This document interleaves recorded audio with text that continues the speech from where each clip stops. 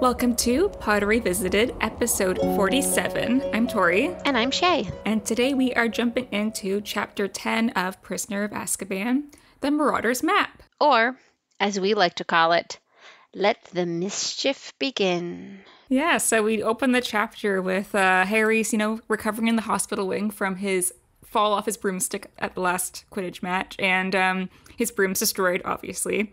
And Mad- he, Harry won't let Madame Pomfrey throw away what his left of his broom. He's like very attached to it, so kind of get this like I don't know sentimentality that he has to this broomstick. He loves his broom. Yeah, he said he, it feels like he lost a best friend. Like he's very attached to it. And I can't. We all kind of as kids like really attached to physical objects. Absolutely, like my favorite doll when I was a kid, my favorite toy horse, my favorite, yeah. And it's also it's a broom. It's almost like your skateboard. Like if you're a guy who skateboards or a girl who skateboards in middle school, it's like a part of your personality. And I feel like Harry's broom was very much that. Like it's not just just something he uses that's part of him. Well, I think that when Harry describes himself, he definitely says that the only thing he's ever good at is Quidditch. So this is like his extension of the that's the only thing he's good at, and like the instrument that he uses to be the do the one thing he's good at is broken, and it's like he lost a limb or something. Yeah. Now, I also noted that uh, Ginny, everyone's coming to visit Harry, and Ginny gave Harry a sing- singing get well card. You know, keeping the theme up with uh, singing cards.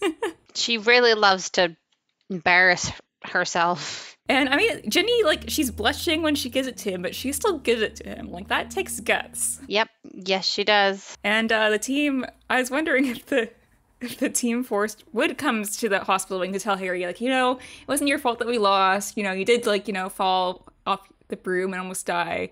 But I'm wondering if the team forced him to come because he's with the team when they come and he's kind of like very monotonous and still very like downtrodden about the loss. Yeah, deep trauma, deep trauma, deep loss, deep trauma and loss. Also, Oliver Wood, his t- trauma and loss is literally just the Quidditch trauma and loss. A hard loss for him. It hurts. It hurts deep down. I kind of think, given what Harry's going through and what he experiences every time he encounters a Dementor, he really should be seeing a grief counselor.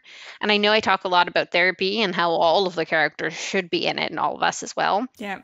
In the entire series. I think he really, really needs a grief counselor. Like he doesn't really get to sit down and talk about his feelings towards his parents. And he gets a lot of like, Especially because this is where he realizes that he comes to this realization that the voices that he's hearing when he sees Dementors are his parents' last words, which is haunting. Like, no one should ever have to live with that. haunting, traumatizing. Yeah. And they're literally like, don't kill my baby, which is him. Like he hears his parents dying for him. That's such incredible trauma. And then like he just doesn't get to engage with that information because everyone's just like, oh, he's the boy who lived. They don't touch that sort of. And then they give him, they tell him about his parents, but they don't like humanize them in a way I think that would help him to get through trauma. Yeah, it's more like modernized. Yeah, he just sort of hears about like the legends of James Potter and all the shenanigans he got up to, but he, he's really missing out on an actual personal connection to them, which Even just to talk through his feelings after just not growing up with his parents and everything, because I feel like that's something you really kind of like. It didn't really affect him when he's a child. At least he didn't think about it because he's he never like had the experience. But now he, he hears so many people talking about his parents, and he has like no connection to it besides what people tell him, and he's obviously likes to know more about them, but yeah, no one really is able to give him what he needs. yeah. It's a hard burden for Harry. It's um tough. Yeah, it is. It's a lot. It's a lot for a kid who again, no one cares about his feelings or emotions, so like he's getting the opposite of even something remotely similar to therapy and emotional support. Yeah. He's screwed. They're like, just bury it down deep, Harry. We gotta keep you alive. That's the focus. Yeah, as long as your heart is beating, we're doing it right. You're fine. yeah. When they get back to classes, everyone goes in. Was it Ron refuses to go to dark arts unless Lupin's there? So he has Hermione look in, which I thought was funny because I think we've all had like that terrible supply being like, if that supply is there, I'm not going to class. I am not attending class. Yeah, I will skip. I will fake sick. I will do whatever it takes. When it is Lupin, all like the class is complaining about what Snape did and the homework he assigned, and they're all freaking out. And Lupin's just kind of like, you know, don't worry about it. Like, don't don't do the essay. Don't worry about it. Like, well, no, it's not bad. And it just reminds me of like anytime you have a bad sub for a class, and as soon as the teacher comes back, you're just like, oh my god, that sub was terrible. They did this, this, and this. Yeah, like that Hermione's kind of like, "Oh man, she's done the essay." Like she's she's like, "But I wrote the essay." Already did it. I mean, again, we don't know how long two two rolls of parchment are. We don't know how long a roll of parchment is. You know what I mean? It's like a scroll. It's not going to roll down the staircase. You know, a two foot long piece of paper rolled up is a, is one scroll of paper. Yeah, we need to find that conversion to like scrolls to like a normal essay that you would write because like i feel like a five page essay is a lot but like a two page report it's not that bad I mean, five pages isn't even, I mean, terrible, you know? I guess maybe in high school it is. Well it is kind of bad because they have to write everything out by hand like when i think of five page report it's not that bad because you're typing it but i find we have the point here that um harry uh, is called back by lupin to lupin's like checking in on him which is pretty sweet Yeah, someone cares about Harry. And uh, we kind of got like the little tidbit that the Whomping Willow was planted the year Lupin attended Hogwarts. So some foreshadowing there. Yeah, what a coincidence, indeed, that Remus Lupin and the Whomping Willow arrived at the same time. How unexpected. I wonder what that's about. Hint, hint. Yeah, and Harry's just really downtrodden about the Dementors and like, why were they allowed at the match? Like, why did they? They just ruined my life. And Lupin describes how Dementors are awful, and, like how they kind of work, and it does really bring up the point that Dementors were meant to like kind of characterize depression. Yeah, And as someone who's had depression, I think both of us at some points in our lives, like it, it does hit hard. it hurts. But yeah, we're gonna see how terrible they are. And we also get like a little bit of information about Azkaban as well. Alcatraz for wizards. It even sounds like Alcatraz. It actually does. yeah, we don't really know where Azkaban is supposed to take place in the world, but Yeah. somewhere in the middle of the ocean, probably. Yeah, or when we really when we get to see it at all, sort of in the films we do, it's really high up, so you don't really know if it, the where the bottom is on water or if it's in the mountains. It's just like really high up in the clouds, kind of. Yeah. But it definitely, I feel like this little mentioning of Azkaban is foreshadowing for the breakouts of Azkaban that will happen in the fifth book. Yeah, because Lupin uh, definitely like emphasizes that it's like impossible to break out of. Yeah, he's like, couldn't happen, not possible. Just like breaking into Hogwarts, couldn't happen, not possible. until Harry's there. so Harry uh, ends up telling Lupin that uh, he hears his parents' last words when he hears the Dementor, and I find that it really shows like how close Harry already feels to Lupin, even not knowing like Lupin's connection to his parents at this point. Yeah. like Lupin's been really nice to him. I mean, like child development, a lot happens in the first year of life, and like there's a chance he still, to some extent, remembers Lupin. Like he has a sense of familiarity to him, Yeah, like subconsciously he remembers him. so his body, so he's a little more like comfortable around him. He feels a little more at home around Lupin. Yeah, yeah, but Lupin moves to like put his arm around him at this point, but then he kind of stops because I do think like he knows Harry, like he has this really big connection to Harry being like his best friend's son, and he probably spent a lot of time with Harry in like his first year before James Lily died. But Harry doesn't actually like at least physically remember Lupin, so he can't be like, "Oh, it's okay, son." yeah, yeah, yeah. To Harry, he's just his teacher. Yeah, Harry doesn't even have like the context of like you were my dad's best friend. We knew each other. Like it's interesting because like I wonder what the point was of Lupin not sharing at least that information, like not mentioning a lot of Sirius Black. He does eventually, but I think he really holds it back because I don't think he wants anyone to know his connection to Sirius. Uh, yeah, I guess connection to James is his connection to Sirius. So Like obviously Snape knows about it and it's kind of using it against him. And I feel like he would share that with Harry, but he doesn't want Harry to ask him about Sirius Black because that's a sore point for him. Because at this point, Lupin believes that Sirius is the bad, the big bad, yeah, serial killing jerk face. and that he did portray Julia Lame. So he doesn't want to have any of that connection to him. And I'm sure it's hard being back at Hogwarts where they were all friends and they all kind of became really close. And just thinking at this point, he's just thinking that like all that was like it's all spoiled because he thinks that Sirius was like this bad guy that betrayed them. Yeah, yeah. We're finding out someone you really liked is a terrible person and having to deal with like those feelings is rough. Yeah. And we also have like Lupin's reaction to when Harry mentions Sirius Black as well. He has like he I think he almost drops something Yeah, and it's very it's very like noticeable. Harry doesn't really pick up on it, but we kind of get a little bit of foreshadowing to that like Lupin has an emotional, visceral, physical reaction. there's something there about Sirius Black and it's not just because he's this big mass murderer like there's more to it than that. Yeah, there's a lot more to it than that. Yeah, I always thought it was interesting that when Harry kind of talks to Lupin about wanting to fight the Dementors, it's not really because of what makes him hear or feel. It's because he doesn't want to lose another Quidditch match. Like he brings up Quidditch. He's like, "You need to teach me how to fight them because what if they come onto the grounds at the next Quidditch match? Like I can't do. I can't risk it." I mean, to be fair, Harry has learned from his time at Hogwarts that his feelings do not matter, but Quidditch does. So saying like, "I have trauma. I hear my mother dying. That really fucks me up. I don't want to feel that anymore. Can I fight this thing?" Though it would have worked 100% with Lupin, with just about every other adult he's met at Hogwarts, they would have been like, "Meh."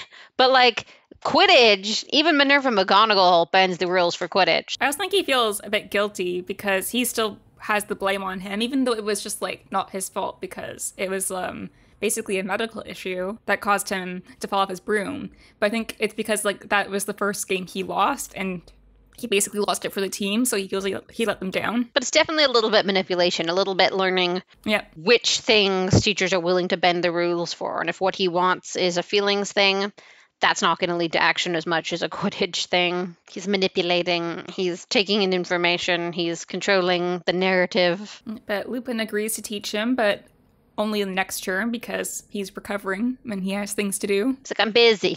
I have to mark all those stupid werewolf essays. Yeah. Christmas is now approaching, and we get the the information that uh, Ron and Hermione have already said they are going to stay at Hogwarts, and they try to make it like like they're not staying for Harry. Like Hermione says that she wants to be near the library, and Ron says he doesn't want to deal with Percy. I mean, fair. so it's interesting that Ron's staying, and he's like, "Oh, I don't want to go home because Percy's going to be there." So the other Weasley kids are going home, but Ron's going to stay. Yeah, just Ron. I uh I also think a little bit maybe Arthur suggested it to Ron sort of in a roundabout way. Like, oh, I hope Harry isn't lonely. And then Ron's like, oh, wait, now I have an option of a nice guy reason not to go home that isn't just I hate Percy. So he told his mom and dad, oh yeah, I'm staying to help Harry out. I feel like it wasn't for the plot of like what happens over Christmas at Hogwarts, that Harry would have gone home to the Weasleys because I feel like that maybe they wanted the Harry to stay. I mean, I guess you'd need parental consent to do that still though, right? Well, he does visit them in sixth year. I don't think Dursleys care, but I think they more let wanted him to stay at Hogwarts this year just because the Dementors were going to be there and Sirius Black and stuff. And Dumbledore can babysit him. Be nice for Ron to stay. I feel really bad for Hermione's parents. Like we don't know a lot about them, but like they're they're smart people. They probably love their very smart, precocious, intelligent, hardworking daughter, and they never get to see her. And the only times they get to see her are like holidays, and she decides to stay at school. Like that's got to be a little bit heartbreaking to be her parents, and she'd be like, okay, Yeah, it's kind of also it's the beginning of Hermione kind of like that separation between the two worlds where she's kind of leaving the Muggle world behind, which includes her parents because she's only ever gone home for Christmas in the first book. yeah, And she's only home for holidays. Even some of the holidays, she spends most of it at the, at the burrow with everyone else. So don't know about if it causes any tension. they're losing her. You know, Yeah, it's very apparent that they're losing her already, and she's only 13. thirteen.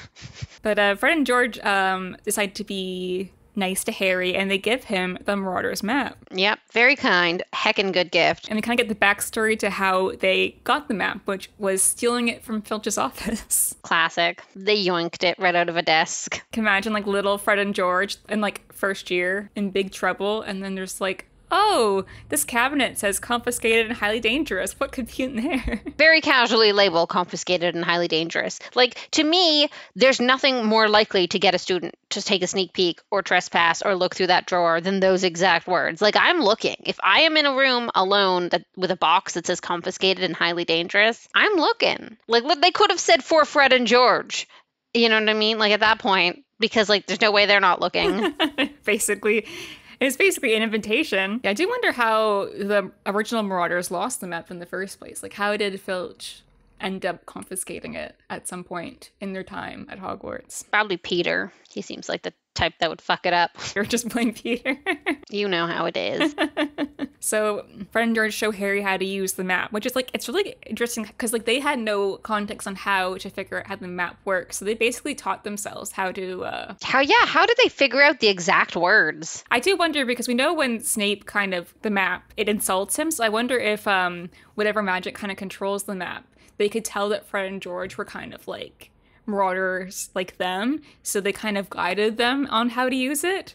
But they, I guess, I can kind of tell like how you who's using it because they knew it was Snape because they were insulting him. So I feel like there's certain magic on the map. Yeah, maybe it can like sense your intention. Yeah. Like if you're intending to use it for like a really good thing, it'll let you do it. If you're intending to do use it for mischief, it'll let you do it. But if you're going to be a narc, it won't. Yeah, but yeah, it's very cool magic though. The, the, the idea that they all made this when they were probably around Harry's age. That's very impressive magic. I mean, we know they're good at transfiguration. We know that a lot of them are very smart students. Lupin's really smart. Everyone seems to think James and Sirius were really smart.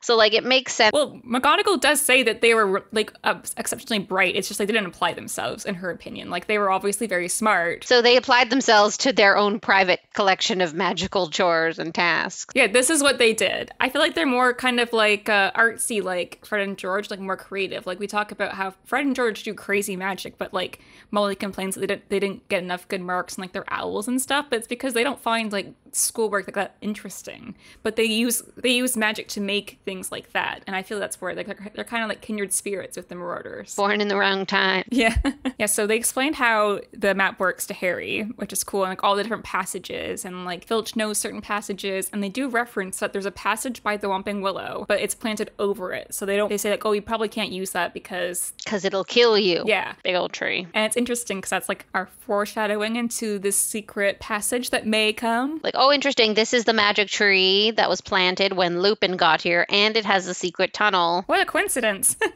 so many coincidences. Hmm, I wonder. I also wonder a bit with the map, specifically about the terminology they used to open and close it, the mischief managed and the I solemnly swear that I'm up to no good. I wonder if Fred and George like just tested goofy words and found those ones worked and used those, and like those aren't the original words set in place by the Marauders. Those are like the Marauders sense your and them using words like that made it pretty obvious what their intentions were, and it decided this is the ones we'll use with these folks because that's great. Because like there's no way for them to have learned those exact words if it's not written on the map anywhere or anything. So they must have just tried words that sounded cool, and the map it decided at some point to accept them. I do wonder if the map like would like write things out like how it wrote mean insults to Snape. They would write messages to Fred and George being like like a riddle or something to like be like if you want to do this, maybe try this. Ooh, yeah, okay, riddle them. Because like their intentions are obviously are like in line with what the Marauders wanted the map to be used for. Yeah. Speaking of that, I do wonder if Fred and George ever found out that Sirius and Remus helped make the map because they do spend a lot of time with uh, Sirius and Remus at Grimmauld Place in Book Five, and it's just like really funny that like they use the map for like basically half their school time, and then they actually are living with the. It'd be nice for them to know. Someone has to tell them. It's cool to know. Like especially like to me, I'd want to sit them down and ask them how they did it and like what type of magic and like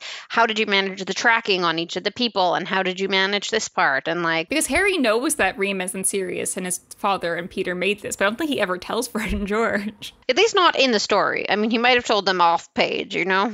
Like I think it would have been a dick move not to. He could have told them in Order of the Phoenix, but he was very angsty then, so maybe he's like they don't deserve to know. Teenage boys. Yeah, very interesting to see like honestly the map and how Fred and George must have spent so much time figuring out how to use it. And it shows how smart they are. I also think back to, and it's what they think back to too, Arthur Weasley saying to never trust anything that thinks for itself when you can't see where its brain is, which in the end of last book obviously proved correct with Ginny in that the diary didn't have a visible brain and was manipulating her hardcore.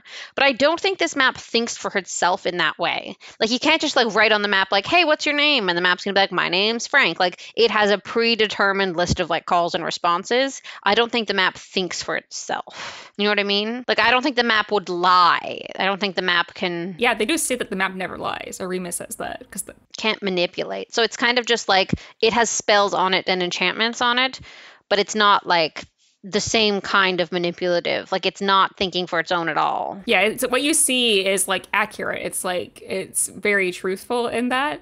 And I do think that when Harry's thinking about the map and comparing it to the diary, he's like, "Well, I'm not going to do anything bad with it. Like he he just wants to go into Hogsmeade. He's not going to steal. He's not going to attack anyone. Like that's how he kind of justifies it, being like, I would know it was bad." But Ginny didn't really know entirely what her things that she was doing were. Yeah. Well, she was sharing like personal things. Like this is a map that shows the school, so you're not really giving yourself into it. It's more like a tool rather than like something to pour your soul into. Yeah. But uh, Harry takes the the tunnel into Hogsmeade. Pops up in the cellar and gives Ron and Her- Hermione. Uh, quite a scare, and uh, explains the Marauder's map to them. And Ron's mad that the twins never showed it to him, which I do get because I'm being like, "What you give? Like you're my brother, but you give this cool thing to my friend and not me." Harry has more need for it. Like I feel like Ron's need was equal to their need, but less because he wouldn't do as much fun mischief with it. Harry's need was different. I also think it, it is like meant to be Harry's because it's kind of like how he got his father's cloak back from Dumbledore, and it's just another part of his father that, that made its way back to him unintentionally, which is really fun. Yeah, but Ron thinks the map's cool, but Hermione is like, Narc. Hermione's immediately like, oh, he's going to give it to McGonagall because it could be dangerous. And I'm like, yeah, and Harry's like, yeah, right.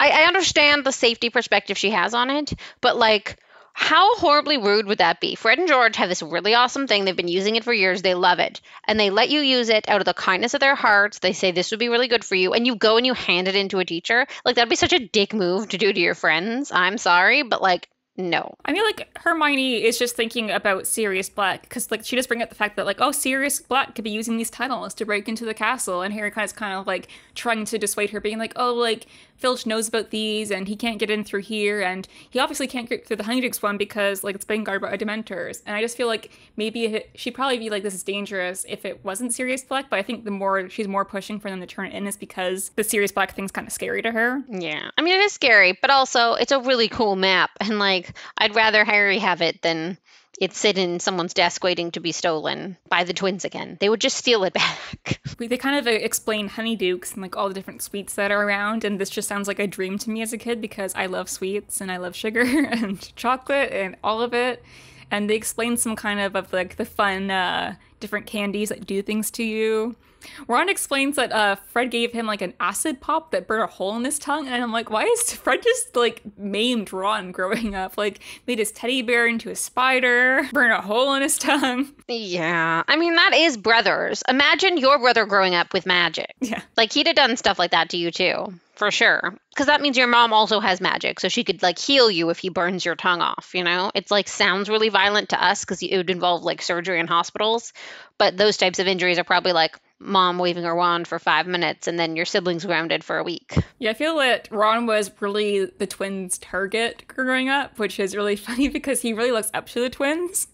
And they just like basically used him to like play jokes and stuff on him. He was their best audience. But yeah, Mrs. Weasley apparently beat Fred with a broom after he burnt a hole through Ron's tongue. So Exactly. They got their comeuppance. yeah, and there's all these other things that they're explaining, and Hermione wants to give like her parents like I guess dental floss candy. Which is weird. Like, does it clean your teeth or is it candy that uncleans your teeth? Is it both? Who knows? Is it just edible dental floss? I have questions. Like, my dog eats cookies that clean her teeth. Maybe it's like that. I do like the fact when they're still arguing about Harry that um he basically has all these reasons to convince Hermione like not to turn the map, and then um Harry's like, "Are you gonna report me?" as like a joke to Hermione, and she's just like gives up. She's like, "Ugh, no." It's just classic Harry and Ron being like, "Here's this thing that's kind of illegal or against the rules," and Hermione's like, "We shouldn't do that," and they just kind of like convince her until she gives up. Guilt her into going along with it, sort of. But they end up going into the three broomsticks, which which is also pretty cool. Going to the pub. And Ron obviously has a crush on Madame Rosmerta, as we she's described as being a very uh voluptuous, What they, they don't say voluptuous. They say like curvaceous or something. very beautiful barmaid. I think so, yeah. I do wonder how old she is because she remembers she was there when James and Sirius were at school. She's probably in her 30s or 40s then, because technically James and Lily were like 21 when they had Harry. When they're, Harry experiences his first butterbeer, and it's like the best thing ever. But I do wonder if butterbeer is actually alcoholic or not. Like I know the drinking laws are different in the UK, but are they drif- different in the Wizarding world? I mean, you would gotta think so, yes. Because to me, you're learning magic, and then if they let you get like drink at 13, you're gonna get drunk so fast, and now you know magic. Like it's like giving a, a human child a sword and then getting them drunk and saying, "Have fun, kids." Like there's gotta, there's definitely a legal drinking age for wizards' children. Because I remember when, uh, in the next book, when Dobby and Winky, like Dobby says that uh, butterbeer is strong for house elves because Harry's like, oh, it's not strong. So I'm assuming if he's saying it's not strong, it would mean it has alcohol in it. That's true. I mean, maybe there's like a tiny, tiny bit, like when you get like chocolate like box of chocolates at like a nice chocolate store, sometimes they have like liquor in them, but like not enough to actually matter at all. Like you don't get ID'd for buying that box of chocolates. So like a negligible amount that doesn't really count. And then it's so much a filling drink with all the other things. Like it sounds like it's big and it's warm and it's so like you can't get drunk off of it because you'd have to drink so many, but you'd be so full after two. Yeah, it sounds like a very filling drink, kind of like a Guinness beer or something. But uh, of course, uh, when Harry's enjoying himself and, you know, hanging out with his friends, drinking butterbeer, having a great time, the professors walk in with the Minister of Magic. Casual. Like everyone that should not be seeing him there. Like Hagrid, McGonagall, Flitwick, the freaking Minister of Magic.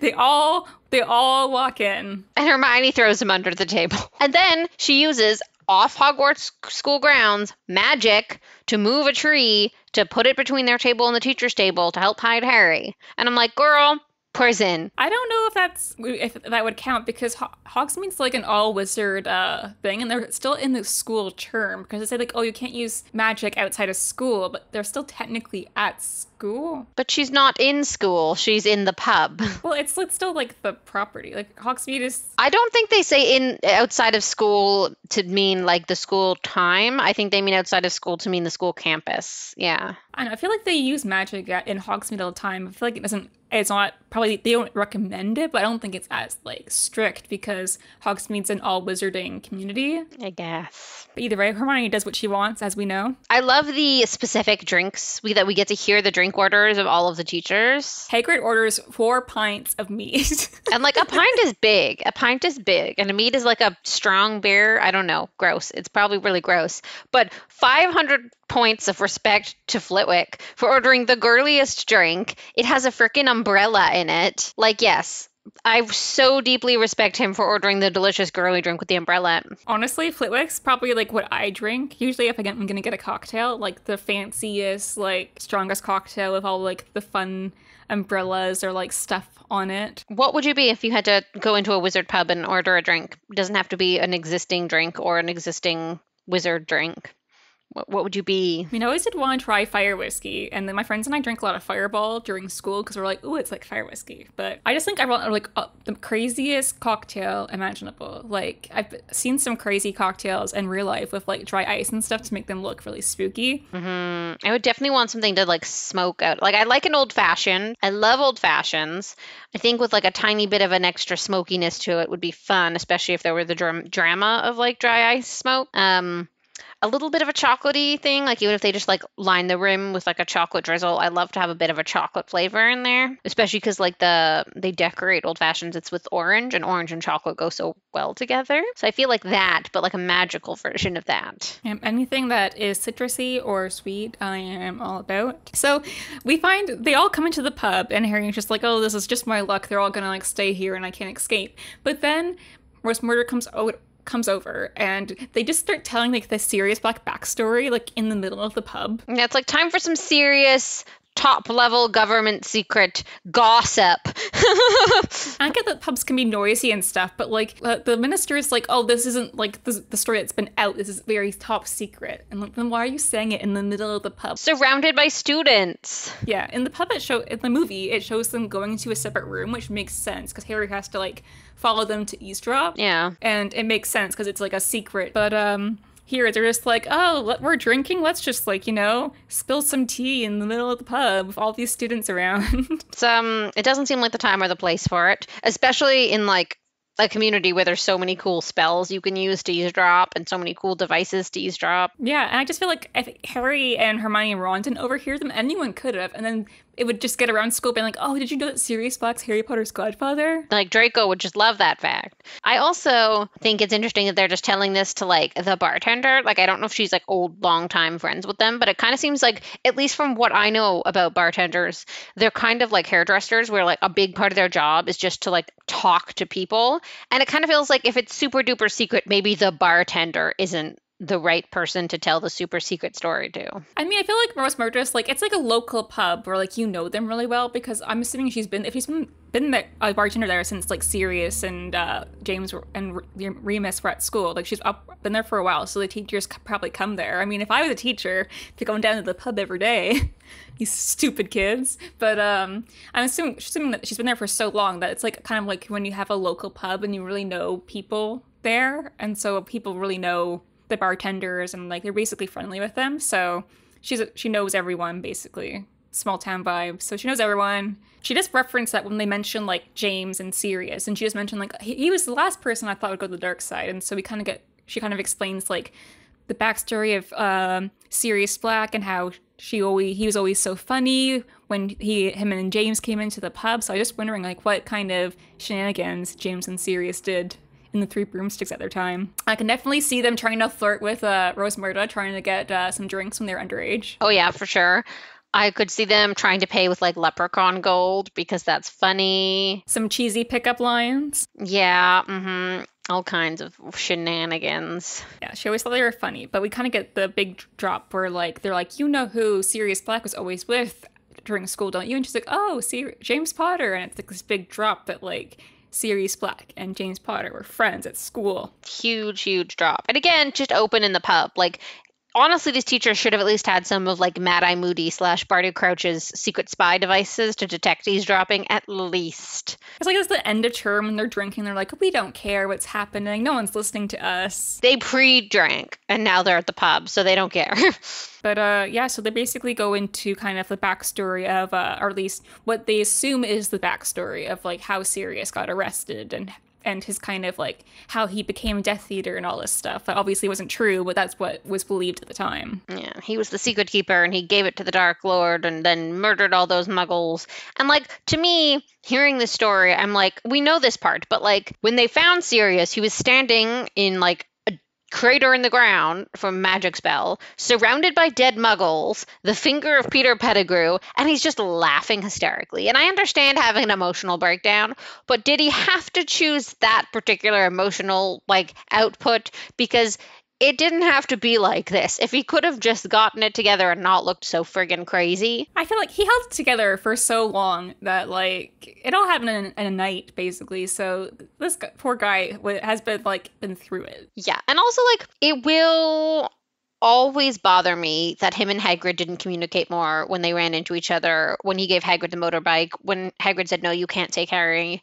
Like, to me, could have been like, it must have been Peter. Like, he should have said, like, and I understand he's stuck, he's worried, he's scared, he's frightened, but a bare minimum, tell Hagrid not to let Peter near Harry because he's the secret keeper. You know what I mean? Like, even just to protect Harry in that moment. Well, I think like he originally wanted to take Harry, and I feel like if he had been allowed to take Harry, he wouldn't have gone after Peter. But because H- Hagrid's like, oh, Dumbledore says he has to go with his aunt and uncle in the Muggle world to be safe, he's like, okay, Harry's safe, so I'm just gonna go on my vengeance spree. But you've got to like to me communicate those things. Like if Hagrid doesn't know, like you in that moment as Sirius Black know it was Peter Pettigrew that got them killed, and like you should at least tell Hagrid who's taking Harry Potter to safety, and you know Harry Potter's the reason everyone got killed. They were trying to kill Harry. You tell Hagrid if you see Peter Pettigrew, you don't let him near Harry Potter. Like at bare minimum, you don't give the backstory of it wasn't me. You don't give the it was Peter. You just say don't let Peter near the baby. Don't let Peter know where the baby is. I don't think Sirius intended like uh, Peter to get the best of him either. And also, like, he's not thinking this through. But, like, even if Peter, like, you don't know where Peter is in that moment. So, like, he could go to wherever Hagrid's going to wait for the baby. You know what I mean? Like, you just, like, to me, in that moment, I at least say that. Well, I think originally he thought something happened to Peter. Like, Peter was, like, hurt or, like, tortured, maybe. Like, the information was tortured out of him. So he was still thinking, like, oh, something's happened to Peter. I need to go help him. He didn't realize Peter was, like, bad until they he confronted him. So, yeah, it's just a bunch of events. And also, like, Sirius didn't get like a, like a very um i guess like fair tr- he didn't get trial or anything. So i'm assuming at, at some point he got arrested but he's like you know what? I'm gonna talk to dumbledore. We'll get this all straightened out. But he was just sent to azkaban and due process no due process. He was not provided a lawyer. He was not read his rights. But going back to kind of like the backstory about Peter, like they re- referenced that Peter wasn't very smart in like the group and stuff, and all they found about him was his finger and everything. But like Peter, like really manipulated the scene. Like he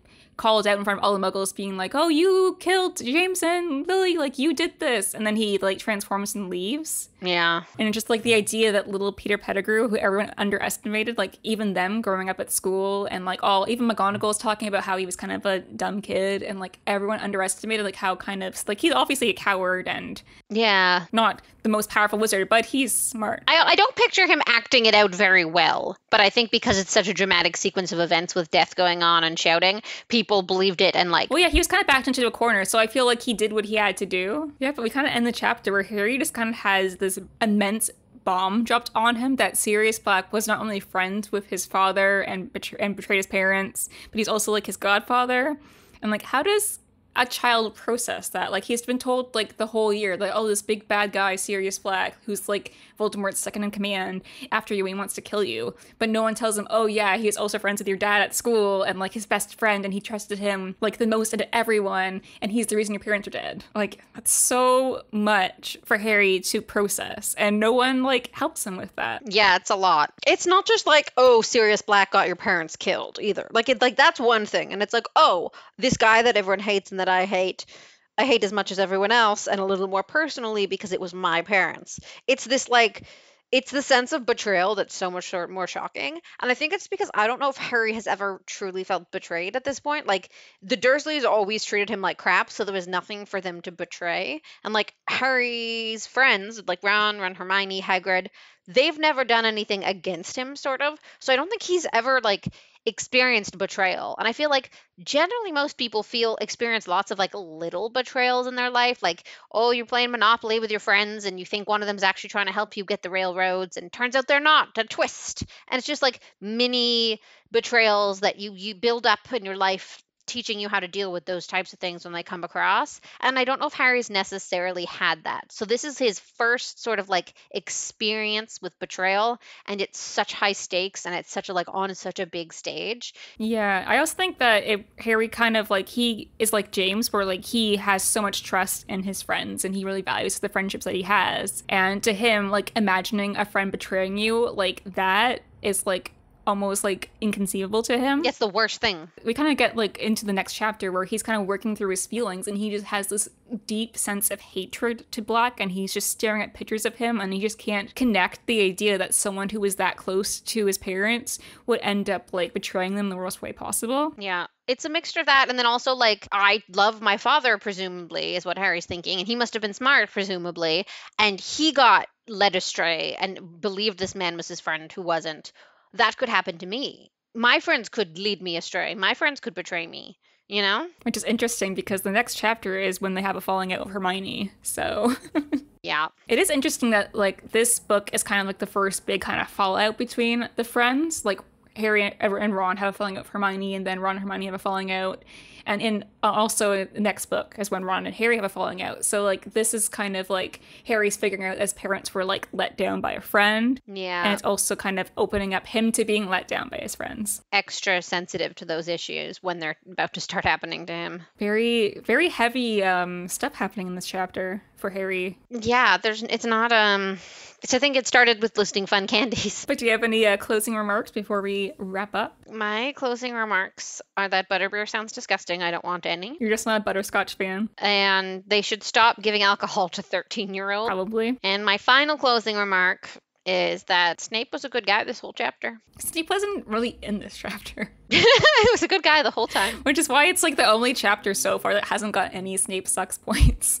My closing remarks are that someone should have, you know, maybe have told Harry this instead of waiting for him to find out himself because he is bound to find out. Yup. But just like the whole series, no one just tells Harry anything. Yup. and he always finds it out in the worst way possible. But uh, yeah, thanks for listening to this episode of Potter Revisited, and we will be back next time to discuss Chapter 11, The Firebolt. Ooh, new broom. This is gonna bring up all my repressed memories of my friends, like, stop being my friends in elementary school. Oh no. If you have any uh, theories or anything that you want to discuss with us about this episode or previous episodes, you can email us at potterrevisitedpodcast at gmail.com or you can reach out to us on Twitter, Facebook, Instagram at Potter Revisited, and we will be back next time. Bye.